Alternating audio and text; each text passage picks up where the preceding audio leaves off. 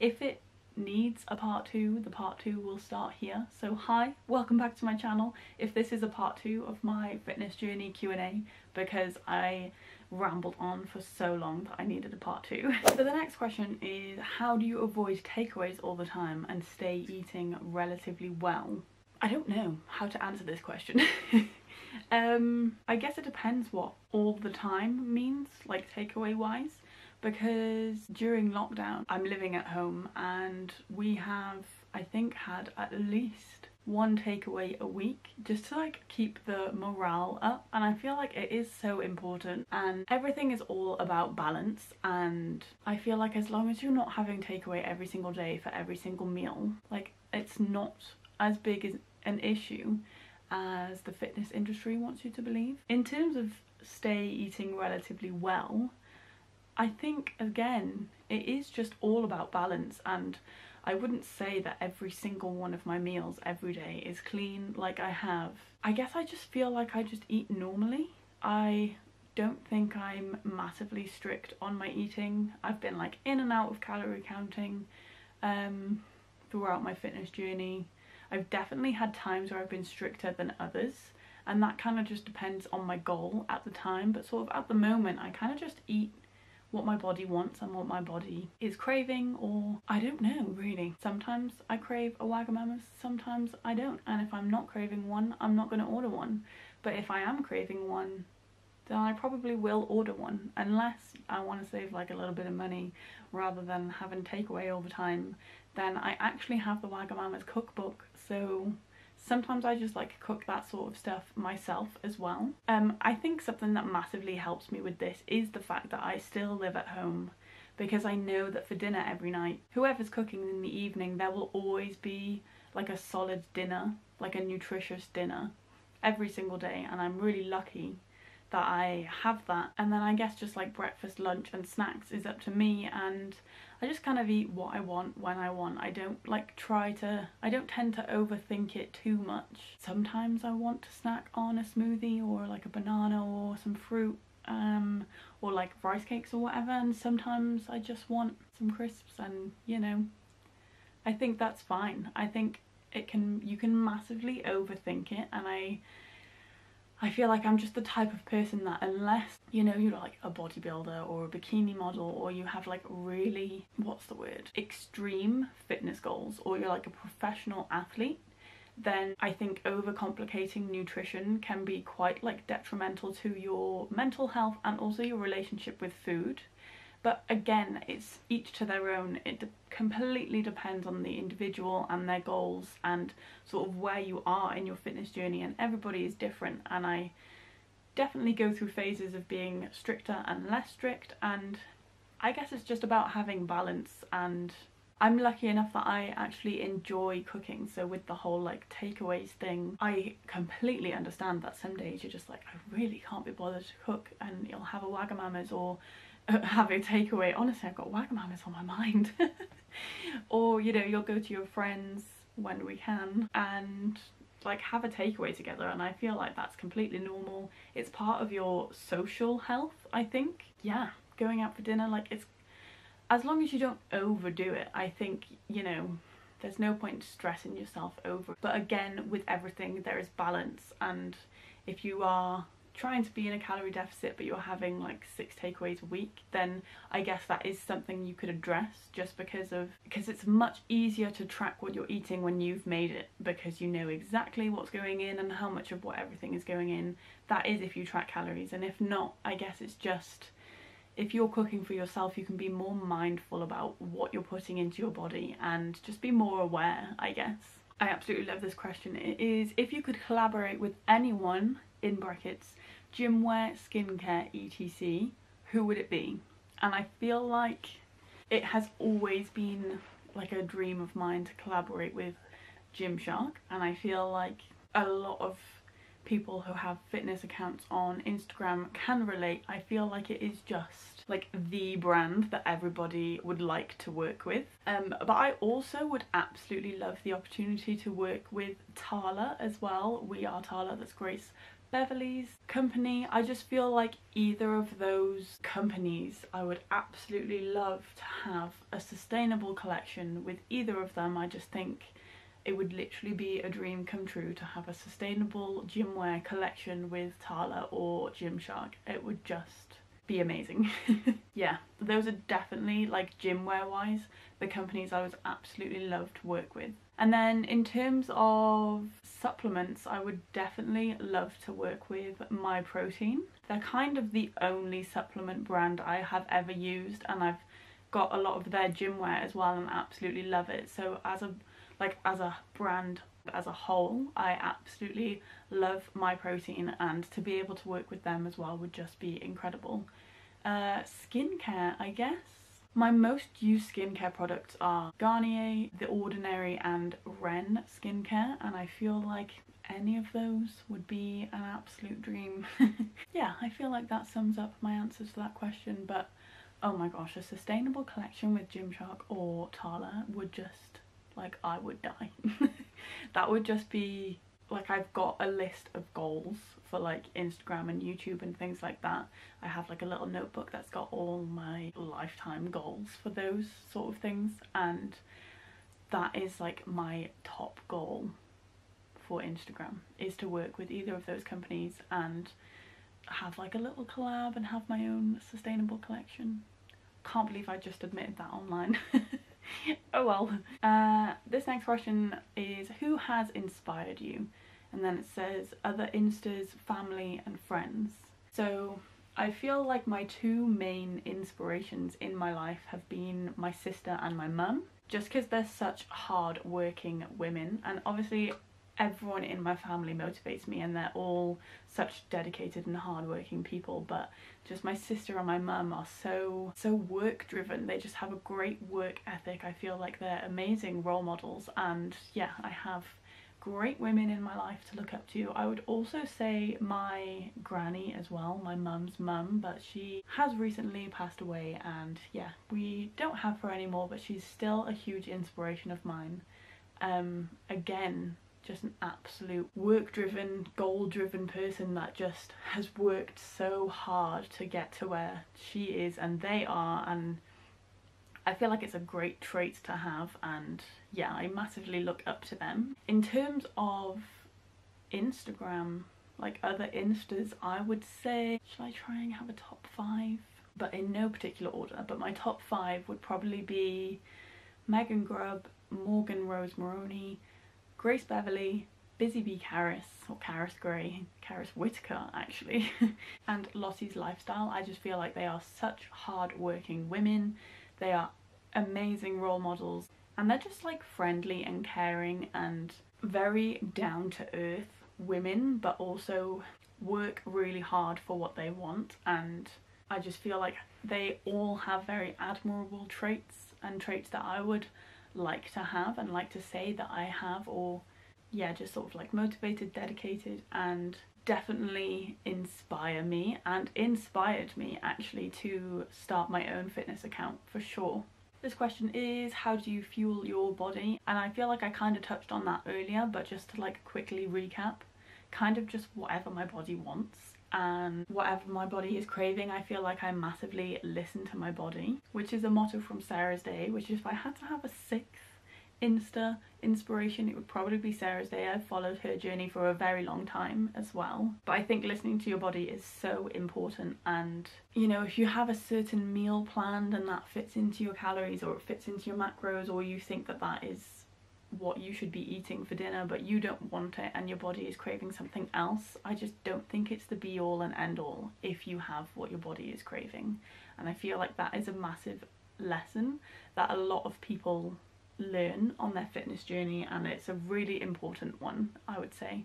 So I just kind of fuel my body with whatever I want and whatever I'm craving. I'm not too like restrictive with the foods that I eat as I said earlier so it just varies from day to day I guess which is why I think I like filming what I eat in a day is because they're always so different and I just don't really have set meals that I eat at all. I just kind of just eat whatever that I'm craving, which is usually a Linda McCartney sausage sandwich for breakfast, but all the other meals tend to change. so I feel like the next three questions that I've got here are quite similar, so I'll probably just read them all out and then answer them as one. What's your motivator? How do you motivate yourself when you just CBA? And is there, should there be an end goal?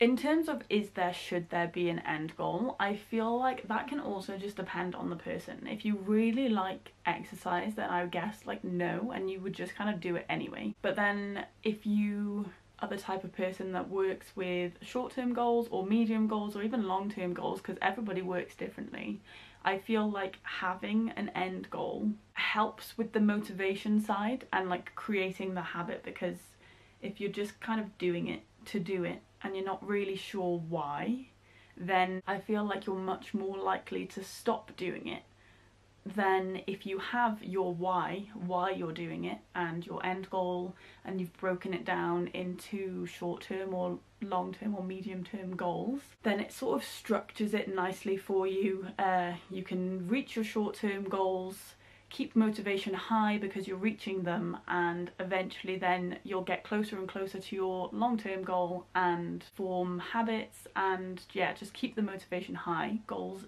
definitely help with motivation especially on the days where you CBA so for me I guess I would say it is so important to learn the difference between can't be bothered and needing to rest there's it's just a fine line. Some days you can't be bothered and then once you do the workout you feel better and you know you're glad you did it. You've got those endorphins and you're like I'm really glad that I moved my body today. Sometimes you get you're like okay I'm gonna do it. I'm just gonna jump into doing exercise anyway. Um, and then you get halfway through the workout or not even halfway through the workout and you're like actually I'm really not feeling this today and you just like call it quits there. And that is also completely fine. If your body isn't up for the session then you probably do need to rest. And then other times you don't even get as far as starting the workout. And as I feel like as long as you're not just putting it off constantly and there is a reason whether it's your mental health your physical health like you need to rest. If it is any of those factors then 100% like just you know, listen to your body, take the rest, and don't smash out a workout if you think your body needs to rest and recover or if you just need like the mental space. But if it is becoming a habit for you to just like ignore the workout that you want to be doing that day and just like keep pushing it back and back and back and further away and you're just not getting the workouts done, then yeah, in that case I would say it probably would be helpful for you to have short-term goals or readdress your why because if you're if you don't have a why to your exercise and you keep pushing workouts back then you're never going to get to a point that you want to do that workout because you don't really have a reason why you want to be doing that workout. So yeah, in terms of me, it, it is just so different. Some days I can't bother to go to the gym, but I just like drag myself there anyway and get there start with some light stretching and then I'm like yeah that'll do me for today. Some days I do that and I'm like okay I'm ready now to like completely smash out a workout. And some days I don't even like go to the gym and I think that is normal and I feel like it is so important to listen to your body because if your body needs rest then the worst thing you can do to it is push it through an absolutely brutal session because you'll just overload your body and yeah listening again, listen to your body. Just listen to your body. Taking a rest day, I think a lot of people think if they take too many rest days, they're going to lose progress. And yes, in an extreme sense, that is the case. But if your body needs to rest, your body needs to rest and recover.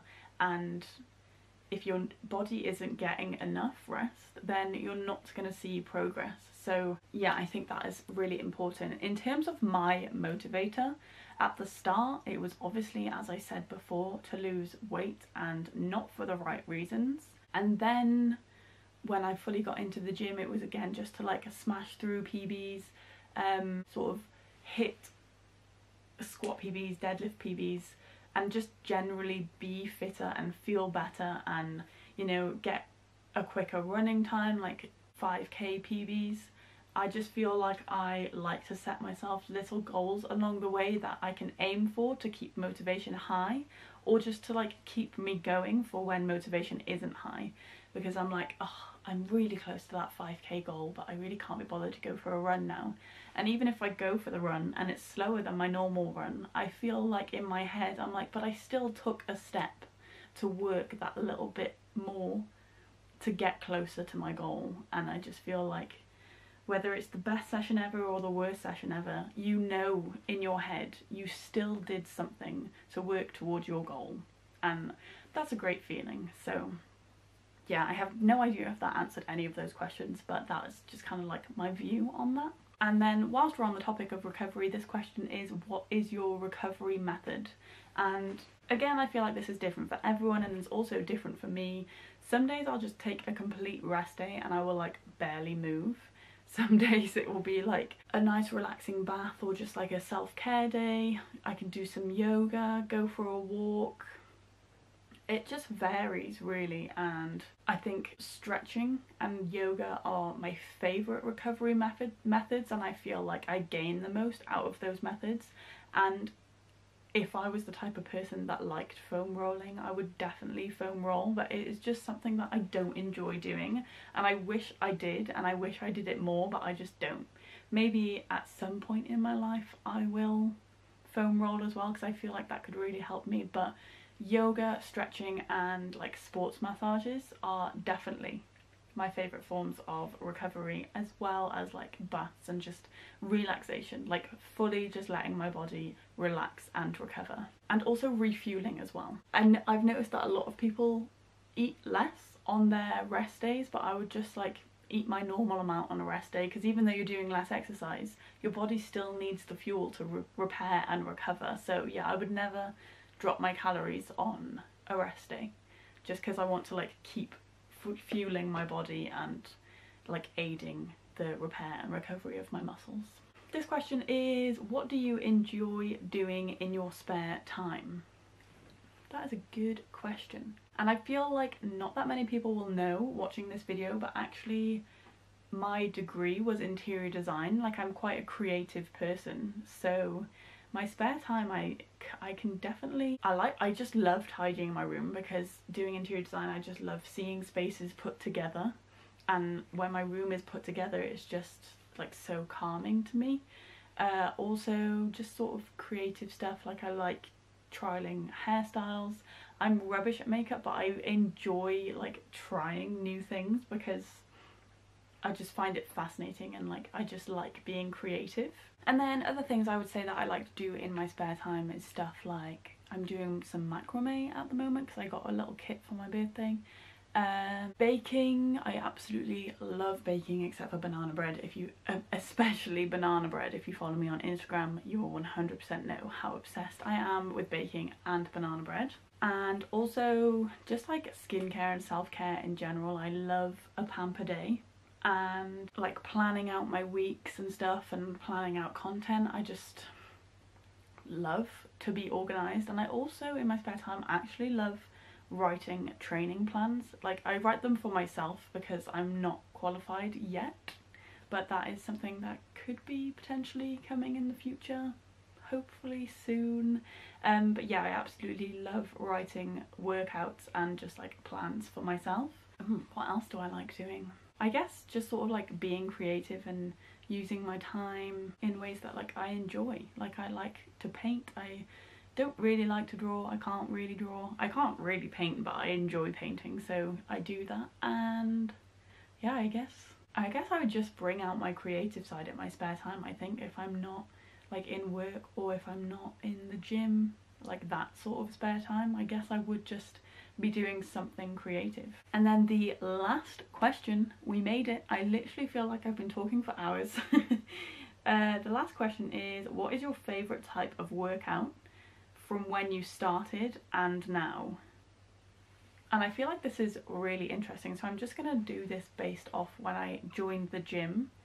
Because uh, when I joined the gym, I massively enjoyed HIIT circuits and leg day. I feel like those were my favourite workouts.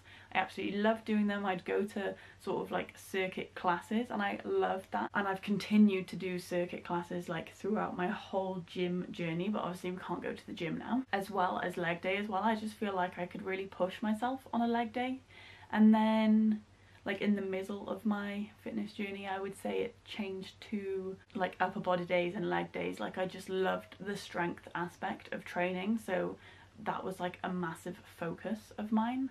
And then at the moment I guess I would just say because obviously we're doing home workouts I would say running and like full body stuff. I feel like if I am too specific with a body part at home I kind of just get bored and I feel like I'm really limited and I don't really get much out of it so yeah that is what I would say I do at home. So I'm going to round this video up here because I feel like I have been talking for a very long time.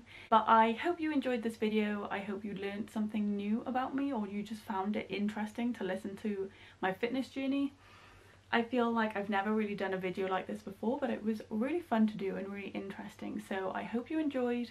If you liked this video make sure to give it a thumbs up and if you want to see more of my content then make sure you subscribe. Let me know in the comments if you want another video like this and obviously make sure to follow my Instagram if you want one of your questions to be featured in my next video like this and I will speak to you soon.